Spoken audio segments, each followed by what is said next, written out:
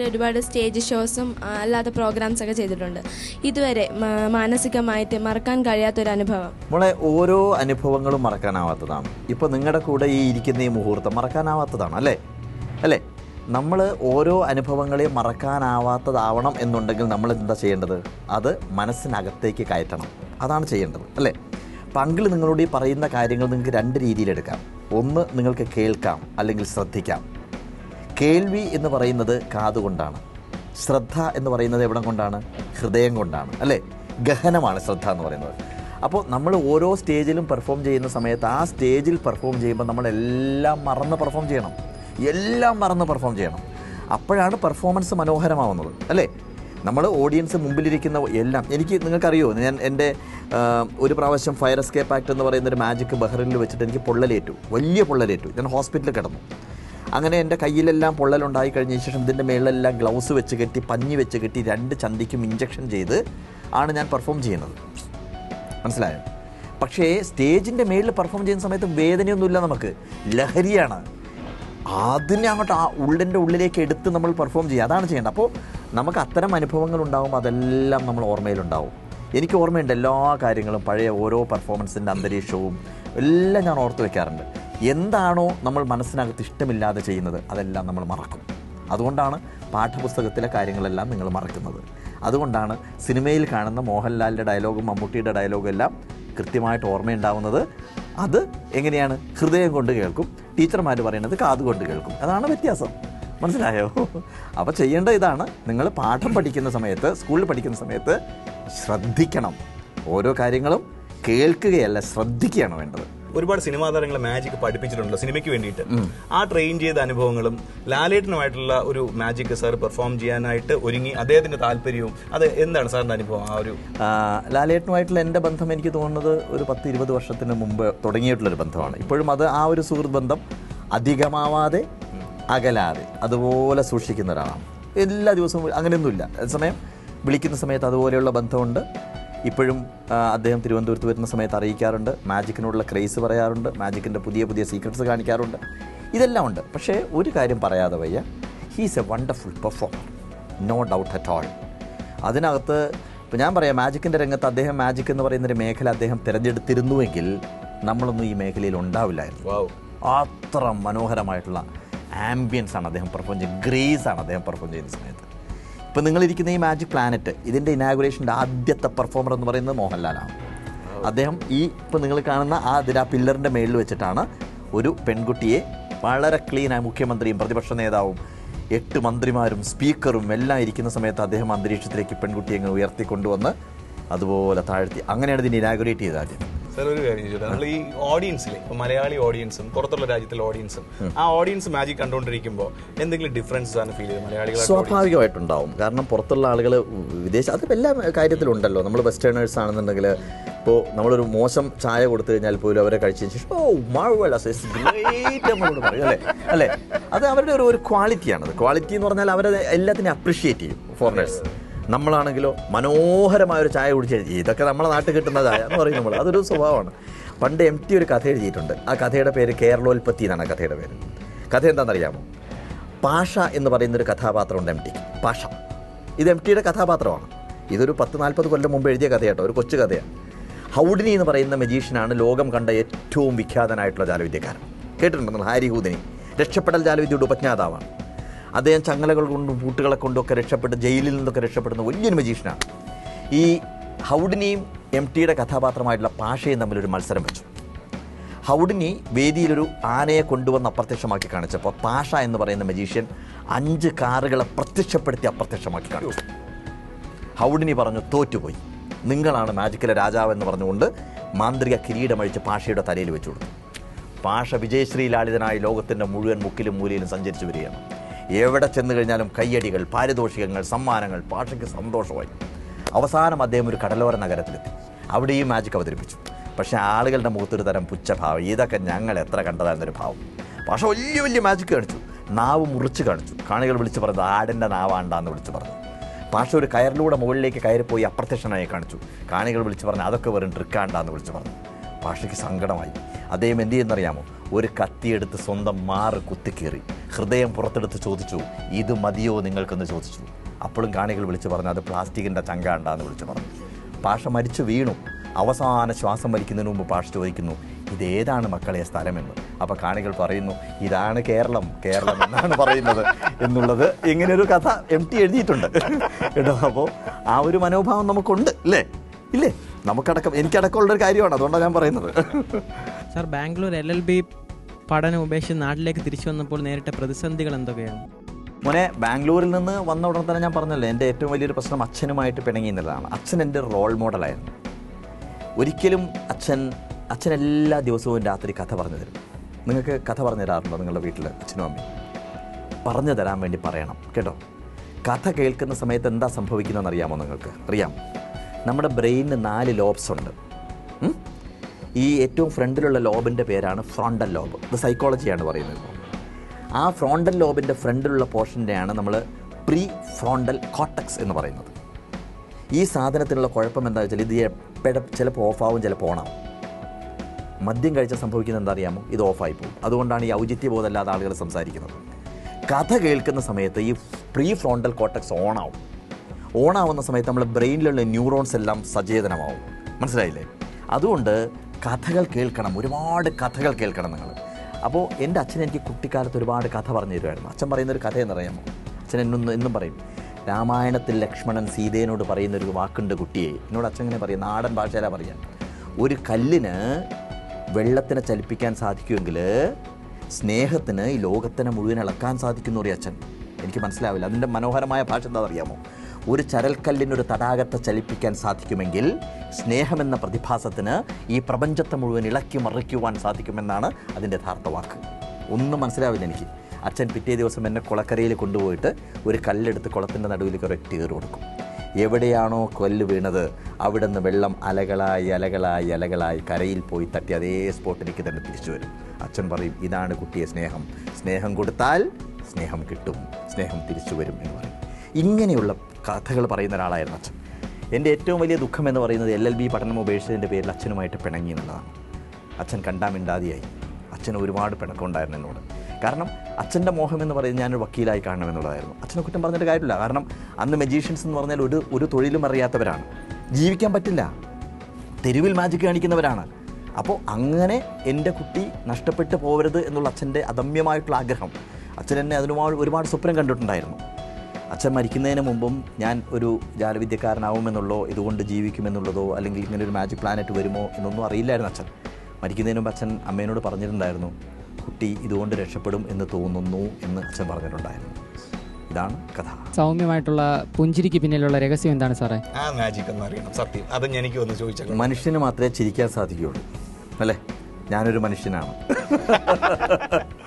അതുകൊണ്ട് ഉള്ള ഒരു ഭാഗ്യം വെറുതെ എന്തിനാണ് നമ്മൾ കളയുന്നത് അല്ലേ? നമ്മളൊരു പശുവായിട്ടാണ് ജനിച്ചതെന്നെങ്കിൽ നമുക്ക് ഒരിക്കലും ചിരിക്കാൻ സാധിക്കില്ലായിരുന്നു. പശു ചിലപ്പോൾ ഒരു ആഗ്രഹിക്കുന്നുണ്ടാവും ഒരു പട്ടി ആഗ്രഹിക്കുന്നുണ്ടാവും ഒരു പൂച്ച ആഗ്രഹിക്കുന്നുണ്ടാവും. ഒന്ന് ഈ മനുഷ്യനെ പോലെ ചിരിക്കാൻ സാധിച്ചെങ്കിലെന്നുള്ളത്. പക്ഷെ സാധിക്കുന്നില്ല. നമുക്കുള്ള സൗഭാഗ്യം നമ്മൾ എന്തിനാണ് വെറുതെ കളയുന്നത്? അതുകൊണ്ട് ചിരിച്ചുകൊണ്ടിരിക്കുന്നു. നമ്മൾ പോസിറ്റീവായിട്ട് കാര്യങ്ങളെ കാണുക അല്ലേ? എന്ത് സംഭവിച്ചു കഴിഞ്ഞാലും എവറിത്തിങ് പോസിറ്റീവ്.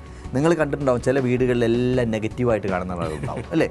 ചില വീട്ടിൽ എന്തും. ഇപ്പം നിങ്ങൾ ഒരു കാര്യത്തിന് വേണ്ടി പോകണം അമ്മേ ഞാനൊരു കാര്യത്തിന് വേണ്ടി അതൊന്നും നടക്കില്ല എന്ന് പറയും. എല്ലാം അത് നടക്കും. എല്ലാം നടക്കും. പൗലോ കൊയിലോ പറയുന്നുണ്ട് എന്താണെന്നറിയാമോ? നിങ്ങളൊരു കാര്യം ആത്മാർത്ഥമായിട്ട് ആഗ്രഹിച്ചു കഴിഞ്ഞാൽ ആ കാര്യം നേടിയെടുക്കുന്നതിന് വേണ്ടി ഈ പ്രപഞ്ചം മുഴുവൻ നിങ്ങളുടെ കൂടെ ഉണ്ടാവും ഉണ്ടാവും എന്നുള്ളതാണ്. ഞാനൊരു കുഞ്ഞു കഥ പറഞ്ഞുതരാം നിങ്ങൾക്ക്. ഒരു വീട്ടിൽ ഒരു കുട്ടി അച്ഛൻ അമ്മ മുത്തച്ഛൻ? ഒരു ദിവസം ഈ ഇവരെല്ലാം നെഗറ്റീവായിട്ട് ചിന്തിക്കുന്ന ആളാണ്. ഒന്നും നടക്കില്ല നടക്കില്ല എല്ലാം നടക്കില്ല നെഗറ്റീവ് നെഗറ്റീവ് നെഗറ്റീവ് നെഗറ്റീവ് മാത്രമേ വിറ്റുള്ളൂ ഇവനൊരു ദിവസം ബ്രെഡിൽ ഇങ്ങനെ ബട്ടർ തേച്ചുകൊണ്ടിരിക്കുകയായിരുന്നു ബ്രെഡ് അൺഫോർച്ചുനേറ്റ്ലി താഴേക്ക് വീണു. കാർപ്പറ്റാണ് നിറയെ ചെളിയായിട്ടുള്ള കാർപ്പറ്റാണ്. സ്വാഭാവികമായിട്ടും അവൻ വിചാരിച്ചു ഈ ബട്ടറുള്ള ഭാഗം കാർപ്പറ്റിലേക്ക് വീഴും. ബട്ട് ബ്രെഡ് പിന്നെ എടുക്കാൻ പറ്റില്ല നിറയെ ചെളി പുരളും എന്ന് വിചാരിച്ച അവൻ അയ്യോ എന്ന് പറഞ്ഞ് കണ്ണടച്ച് നോക്കുമ്പോൾ ബട്ടർ മുകളിലാണ്. അവൻ ഞെട്ടിപ്പോയി. അവൻ അമ്മയെ വിളിച്ചു അമ്മ ഇങ്ങനെ സംഭവിക്കാൻ പാടില്ല. കാരണം നെഗറ്റീവായിട്ട് ചിന്തിക്കുന്ന ആളാണ്. അമ്മ വന്നതിന് ശേഷം പറഞ്ഞു അങ്ങനെ സംഭവിക്കില്ല ഒരിക്കലും. ബട്ടർ താഴേക്കേ വീഴുള്ളൂ എന്ന് പറഞ്ഞു. അച്ഛനെ വിളിച്ചു അച്ഛനും പറഞ്ഞു അങ്ങനെ ബട്ടർ വീഴില്ല എന്ന് മുത്തച്ഛനോട് ചോദിച്ചു. മുത്തച്ഛൻ പറഞ്ഞു എനിക്ക് ഒരു ദിവസം വേണം ആലോചിക്കാൻ പോകും പിറ്റേ ദിവസം മുത്തച്ഛൻ എന്താ പറഞ്ഞതെന്നറിയോ നിങ്ങൾക്ക്? ബട്ടർ തേച്ച ഭാഗം മാറിപ്പോയി. അപ്പോഴും നെഗറ്റീവായിട്ടാണ് ചിന്തിക്കുന്നത്. അപ്പോൾ ഇങ്ങനെ നെഗറ്റീവായിട്ട് നമ്മൾ ചിന്തിക്കരുത്. തിങ്ക് പോസിറ്റീവ് സ്മൈൽ എല്ലാത്തിനോടും ചിരിച്ചു കാണിക്കുക. സുഖമാണത്. അതുകൊണ്ടാണ്. കേട്ടോ? അപ്പൊ ആ ചിരിയുടെ പിന്നിലെ രഹസ്യം കിട്ടിയില്ലേ? പിന്നെ അദ്ദേഹം ഒരു ബിരുദനാണ്. ഉള്ളിൽ ഒരുപാട് സ്റ്റോക്ക് ഉണ്ട്. മിമിക്രി ആർട്ടിസ്റ്റ് ഓ ഗ്രേറ്റ് അപ്പൊ ആ ഒരു പെർഫോമൻസ് ഇല്ലേ? നമുക്ക് ആ ദൂരദർശൻ കേന്ദ്രത്തിലെ പഴയ ഒരു ആഡ് ഉണ്ട്. ദൂരദർശനിൽ കാണിച്ചുകൊണ്ടിരുന്ന ഒരു ആഡ് അത് പുള്ളി നന്നായിട്ട് അവതരിപ്പിക്കും ഒന്ന് അവതരിപ്പിക്കുവാനെ പേരെന്താ കുട്ടന്റെ? അരുൺ. അരുൺ. യെസ് ദൂരദർശനിൽ പണ്ട് കേട്ടുകൊണ്ടിരുന്ന ഒരു പരസ്യത്തിന്റെതാണ് രാജീവ നിന്നെ നെൽപ്പാടത്തു കാണുന്നത് ഇല്ലല്ലോ. ഗോപാല ഞാൻ കർഷക മന്ത്രാലയം വരെ പോയതാ. ഹാ ഹാ എന്നിട്ടോ? അവിടെ കർഷക സംബന്ധമായ എല്ലാ സംശയങ്ങൾ തീർക്കുകയും കർഷക ബിന്ദു കാർഡ് തരുകയും ചെയ്യുന്നു. പിന്നൊരു കാര്യം ഇത് തികച്ചും സൗജന്യമാണ്. ഓ കറക്റ്റ് ശബ്ദം കേട്ടോ അത്. ഒരാളെയും കൂടെ കറക്റ്റ് ആയിട്ട് ചെയ്യും സാറിന്റെ ശബ്ദം എനിക്ക് കണ്ണടച്ച് കേൾക്കാം കണ്ണടച്ച് വിഷ്ണു വേണുവങ്ങളുടെ ഒരു കയ്യിൽ അഞ്ച് രൂപയുണ്ട്. വേണുവങ്ങളുടെ ഒരു പോക്കറ്റിൽ പത്ത് രൂപയുണ്ട്. മൊത്തത്തിൽ വേണുവങ്ങളുടെ കയ്യിൽ പതിനഞ്ച് രൂപയുണ്ട്. മാജിക് എന്ന ജാലവിദ്യ വേദിയിൽ ആരംഭിക്കുകയാണ്. എല്ലാവരും ശ്രദ്ധിച്ചിരിക്കുക. Thank you. ജി വേണുഗോപാൽ. ഒരുപാട് പേര് കുട്ടികളെ ഒരുപാട് ആകർഷിച്ചിട്ടുണ്ട്. ആ മറ്റേ മഞ്ജു സ്റ്റാർ. കണ്ണാടി അവതാരകൻ ടി എൻ ഗോപകുമാർ സാറിന്റെ ശബ്ദം എനിക്ക് നമസ്കാരം. മാന്യ പ്രേക്ഷകർക്ക് കണ്ണാടിയിലേക്ക് സ്വാഗതം. കണ്ണാടി ഇന്ന് നിങ്ങളെ കൂട്ടിക്കൊണ്ടുപോകുന്നത് തിരുവോണ ദിവസം തോട്ടിൽ കുളിക്കാനിറങ്ങിയ സുഗുണൻ എന്ന ചെറുപ്പക്കാരന്റെ വീട്ടിലേക്കായിരുന്നു. സുഗുണൻ എന്ന ചെറുപ്പക്കാരന്റെ തോർത്ത് നഷ്ടപ്പെട്ടിട്ട് ഇന്ന് രണ്ട് ദിവസം കഴിയുകയാണ്. കണ്ണാടി ഇവിടെ അവസാനിക്കുന്നു. നന്ദി നമസ്കാരം. Thank you thank you thank you പക്ഷേ നമുക്ക് നിർഭാഗ്യവശാൽ ആ തോർത്ത് എന്നേക്കുമായി നഷ്ടപ്പെട്ടു അല്ലേ? അല്ല കണ്ണാടിയുടെ അവതാരകൻ അല്ലേ? ഗോകുമാർ സാർ അല്ലേ? എന്നേക്കുമായി പോയി. മോളെ കുറെ നേരമായല്ലോ മൈക്ക് പിടിച്ചോണ്ടിരിക്കുന്നത് ഏഹ് അങ്കിളോടൊന്നും ചോദിക്കാനില്ലേ? മോളെ ഒന്ന് വാനിഷ് ആക്കട്ടെ. വേറെ സംശയമാണ് ഈ അങ്കിളിന്റെ പേരെന്തോന്ന് ചോദിച്ചാൽ ഈ ക്യാമറ എന്തോ എടുത്ത് നോക്കിയതാ ഈ പുള്ളിക്കാരന്റെ മുഖം.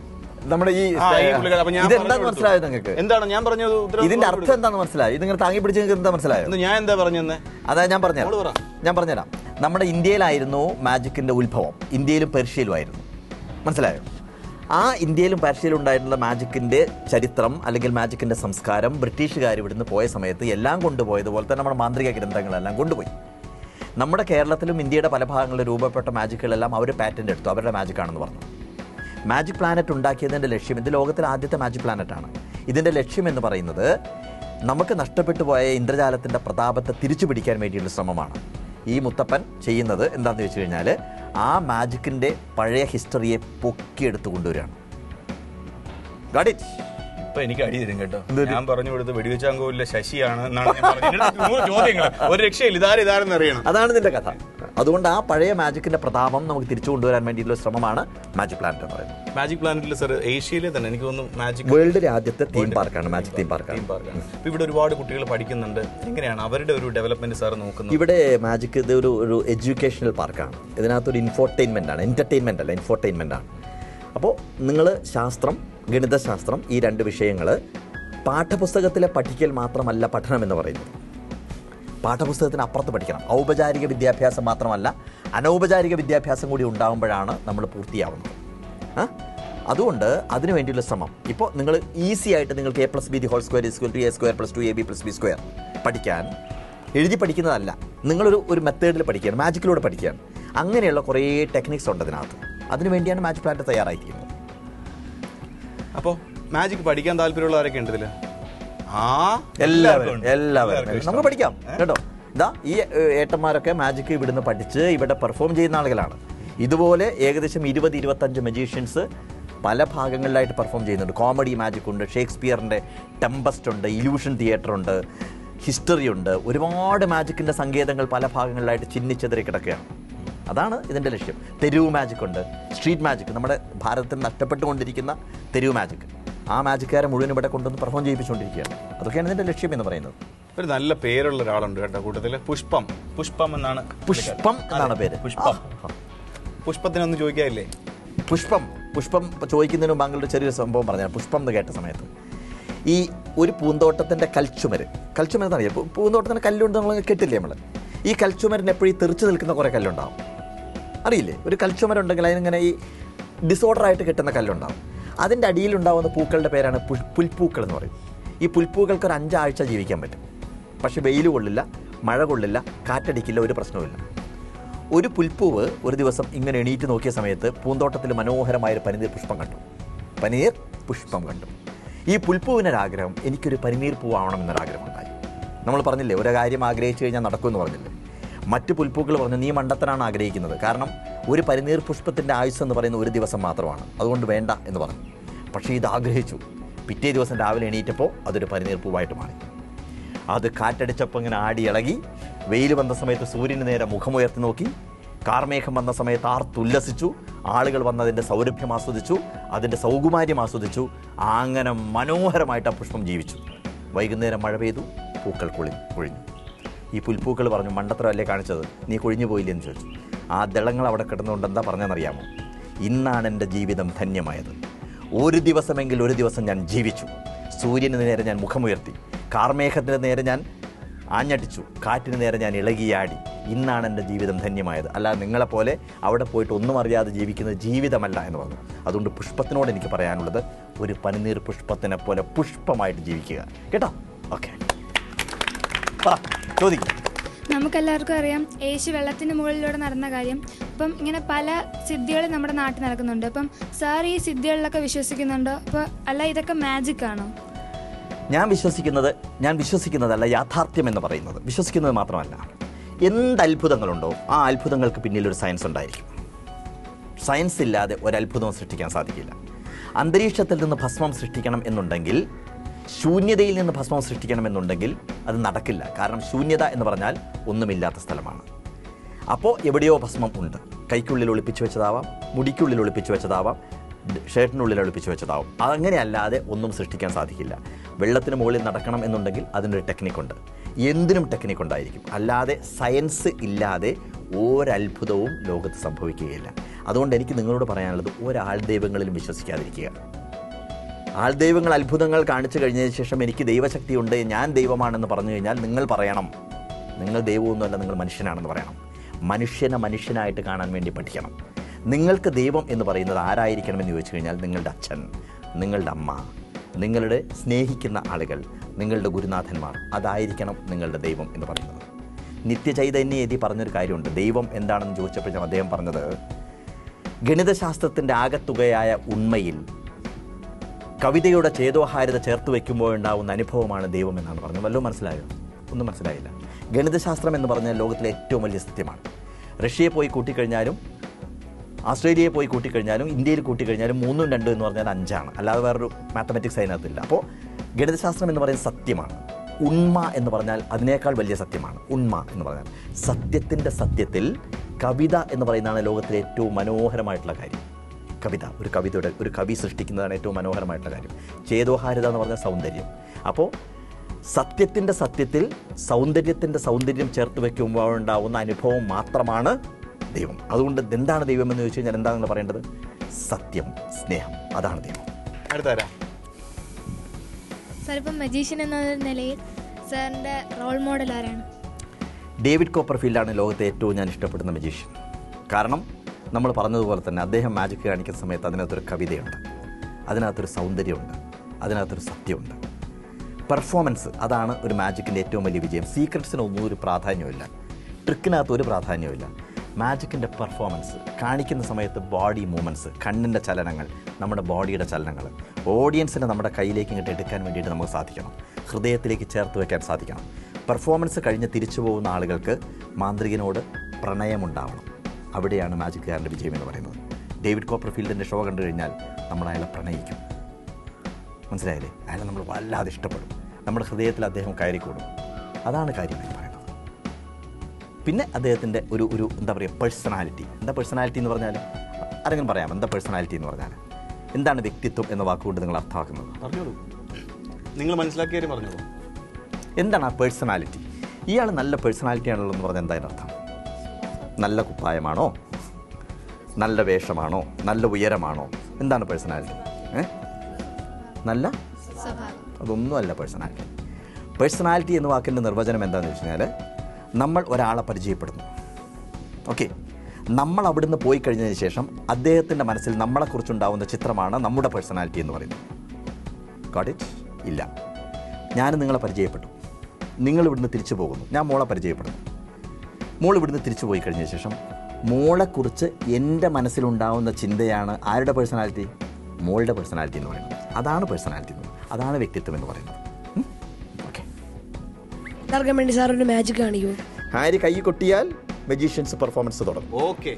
റൈറ്റ് മാജിക് അപ്പോൾ അതാ കൈ കൊട്ടി കഴിഞ്ഞു. അപ്പോൾ ഒരു അത്ഭുതം സൃഷ്ടിക്കാനായിട്ട് ഞാൻ നിങ്ങളെ പരിചയപ്പെടുത്തുന്നത്. മനോഹരമായിട്ടുള്ള ഒരു പച്ച നിറത്തിലുള്ള ഒരു തൂവാലയാണ് ഒരു കർച്ചീഫാണ് ഒരു സിൽക്കാണ്. എല്ലാവർക്കും വളരെ വ്യക്തമായിട്ട് കാണാൻ സാധിക്കുന്നുണ്ട്. പച്ച നിറത്തിലുള്ള ഒരു തൂവാലയാണ്. എന്റെ ശൂന്യമായ കൈകൾ നിങ്ങൾക്ക് കാണാൻ സാധിക്കുന്നുണ്ട്.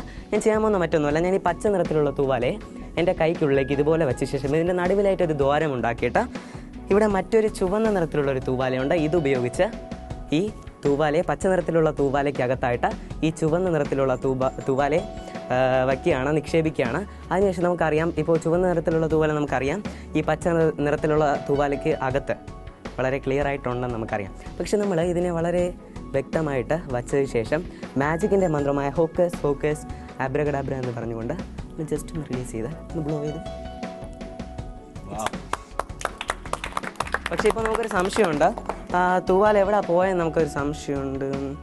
എവിടെയാണെന്ന് എനിക്കറിയില്ല. എക്സ്ക്യൂസ് മീ ഒന്ന് എനിക്കാവും യെസ് അപ്പോൾ പേരെന്താണ്? ഓക്കെ ഷോളം തരാവും? ഓക്കെ ചെയ്യുമ്പോൾ മറ്റൊന്നുമല്ല. ഈ ഷോളിന്റെ നടുക്കിലായിട്ട് ഒരു ദ്വാരം ഉണ്ടാക്കിയിട്ട് ഇതുപോലെ വെച്ചിട്ട് നമുക്ക് അവിടെ നിന്ന് മനോഹരമായിട്ട് ആദ്യമായി എന്റെ കയ്യിലുള്ള ഒരു നീല നിറത്തിലുള്ള ബുക്കാണ്. എല്ലാ പേജസും ബ്ലാങ്ക് പേജസ് ആണ്. ഈ ഒരു ബുക്ക് നമ്മളെക്കാളും നല്ല ചെറുപ്പമുള്ള ഒരു അനിയന്റെ കയ്യിൽ കൊടുത്ത ഈ ഒരു ബുക്കിൽ ചെറിയ ചെറിയ പടം അവൻ പറയും വരയ്ക്കും ചെറിയ ചെറിയ ചിത്രങ്ങൾ.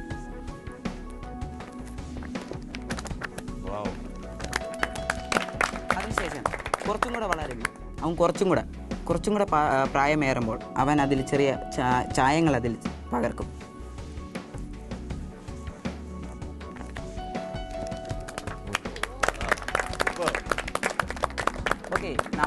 അത്ര എത്തുമ്പോൾ ആ ചിത്രങ്ങൾ എങ്ങനെയാകുമെന്ന് നമുക്ക് നോക്കാം.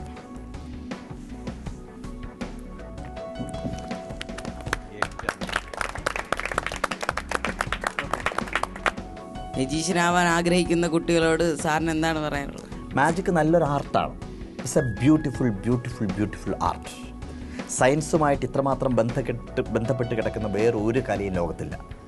അതുകൊണ്ട് മാജിക് പഠിക്കുന്നവർ മാജിക് പഠിക്കണം. പക്ഷെ ഒറ്റ കാര്യം മാത്രമേ ഉള്ളൂ.